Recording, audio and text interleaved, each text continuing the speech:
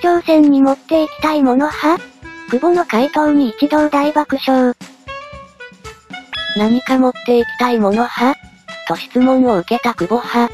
遠足じゃないんで、持っていきたいもの派特に、気持ちですかねと答える。さらに、スマートフォンを使えないという話もありますけど、デジタルではないもので何かと問われると、こんな回答で記者陣を爆笑させた。なんでしょうね。あんまり考えてなかったですけど、それこそ長友選手なんかが滑らない話とかしてくれたらいいんじゃないですかね。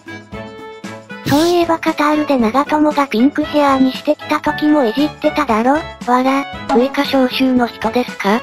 みたいに言ってたな。一回り以上離れた選手を面白くいじるとかユーモアありすぎだわ。頭がいいやつの話を聞いていると面白いわ。こういうところにも名前が出てくるから長友選出で雰囲気良くなってるのかな。